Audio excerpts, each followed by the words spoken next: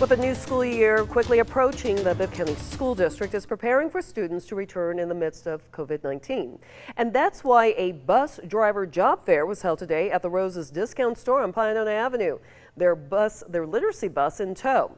With buses going from transporting 60 students to 24 at a time, the district is looking to hire at least 20 new drivers. While the fair has ended, you can still apply online at bcsdk12.com net slash careers.